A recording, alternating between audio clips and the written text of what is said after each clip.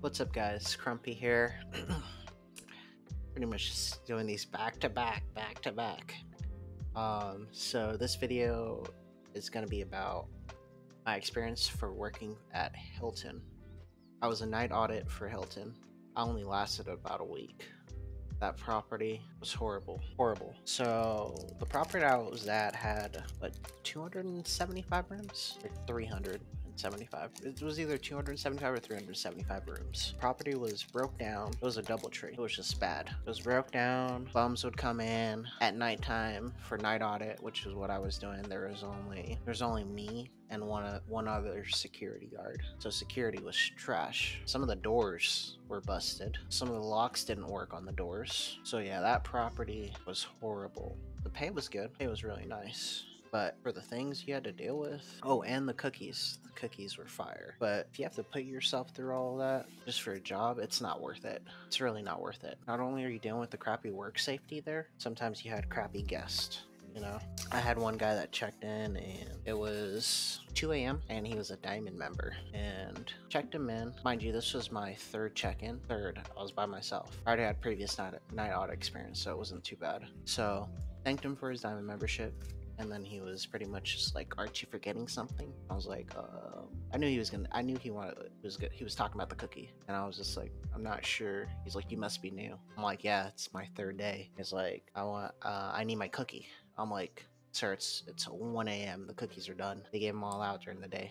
We're hot. We'll have more in the morning. So you get you get customers like that. Not customers, not guests. Assholes. You get assholes like that. But yeah, the uh the experience working there. The people were nice. I find it crazy though that when I did go through my hiring process, I had to make a copy of my social security and then I gave it to the manager and he left it on the counter for anyone to, you know, see. And I was just like, and not not the counter behind, you know, in the back office. It was the counter right in the front. One of the employees saw it and was like, "Hey, I think this is yours." I was like, "Oh, the heck!" So yeah, I took that, and that was on my second day there, and I was just like, "Wow, okay." But yeah, but yeah, it wasn't the best job.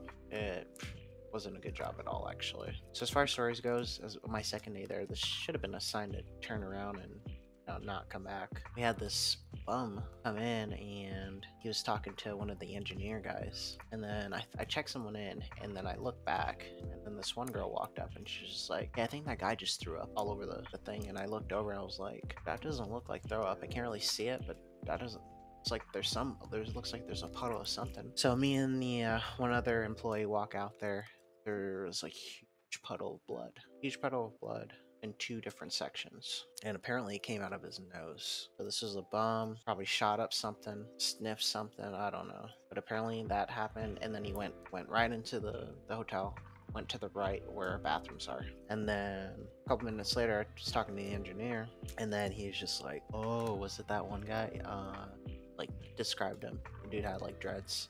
It's like, is it the? I was like, he has dreads. The engineering was like, oh, it's that guy. Yeah, he comes in. He comes in. You know, once a week and shoots up and passes out in the bathroom. I was like, is that a normal thing? Like, how do you guys allow that? You know, he does that. He tells his friends, and his friends think, oh yeah, it's it's cool to come in here. What? So yeah, anyways, that engineer guy went in there and ended up kicking him out. Another story. Um, my fifth day working there, and uh, this dude walks in, has a little suitcase, barely walking. You could tell that he was super drunk. You guys have a bathroom? Sir, the bathroom's over to the right hand side. Honestly, I should have told him there's no bathroom. You gotta be a guest. But no, I like to I like to see the good people. You know, maybe he was uh, he was too drunk to know where his room was at whatever. He goes over there. About 10 minutes. 10 minutes pass. I set a timer for uh for 17 minutes. I'm like, if this guy doesn't come back in 17 minutes, I'm going over there. I'm kicking him out. Set a timer. 10 minutes pass. Uh, one of the security guys walk up and I'm like, hey, that dude went over there and and I haven't seen him in a minute. So security goes over there, comes back, talks to me, and goes over there for a little bit. Then he comes back over here and he's like, yeah, he's sitting on the bench. I was like, the dude asked where the bathroom was. He was gonna use the bathroom. Now he's sitting on the bench. Before I went over there, I'm like, he's like, yeah, um, I don't know. The security guard was just like, I don't know. I'm like, what?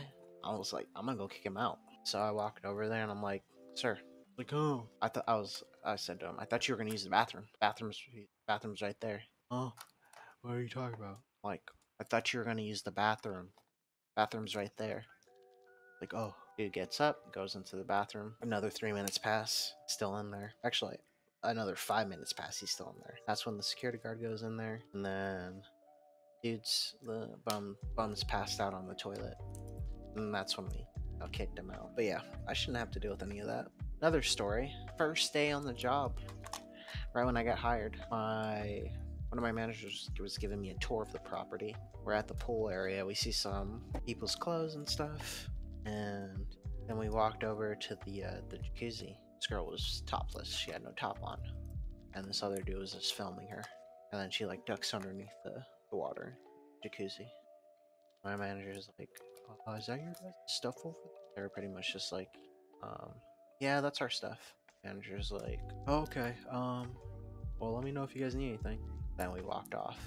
I was like, pretty sure she was. She didn't have a top on. He's like, Yeah, I don't think she did. we'll uh, we'll we'll uh, double back to check. It's like, wow, first day. All this crazy stuff happening. So yeah, if you are thinking about working in hospitality, expect the unexpected, and also check out the property that you're gonna that you're gonna be working at. The property sucks. You're not gonna have a fun time. So yeah, I ended up leaving after about a week of, or sorry, week or yeah, about a week and week and a half. I ended up leaving. Alright, guys.